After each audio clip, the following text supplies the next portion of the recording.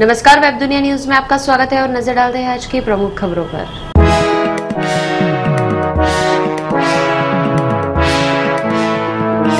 Sydney T twenty में भारत की ऐतिहासिक जीत।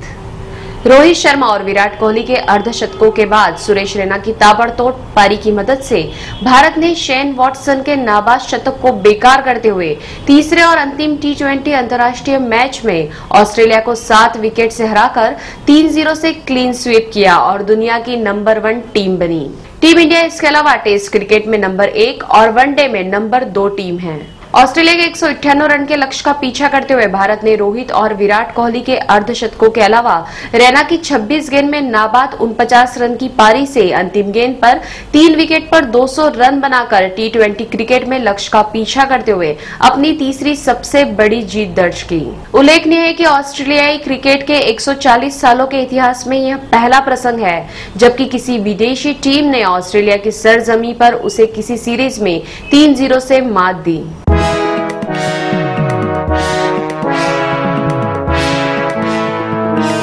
सीरिया में ब्लास्ट, इकोत्तर शियाओं की मौत।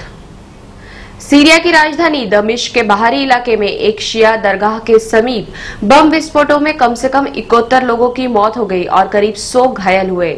इस्लामिक स्टेट ने इन विस्फोटों की ज़िम्मेदारी ली है।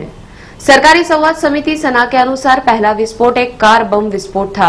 एजेंसी ने बताया कि इसके बाद दो आत्मघाती हमले हुए। गौरतलब है कि अपने घर और विदेश में लड़ने के लिए ईरान, पाकिस्तान में शियाओं की भर्ती के लिए बहुत सारा पैसा खर्च कर रहा है।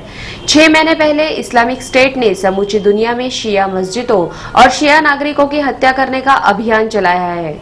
यह उन क्षेत्रों में किया जा रहा है जहाँ आईएस का कब्जा है।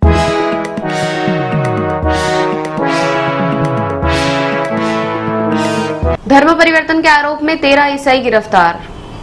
राजस्थान में चुरू के सरदार शहर में स्थानीय लोगों के अनुसार ईसाई मिशनरी से संबंधित कुछ लोग गरीबों को प्रलोभन देकर धर्म परिवर्तन कराने का प्रयास कर रहे थे।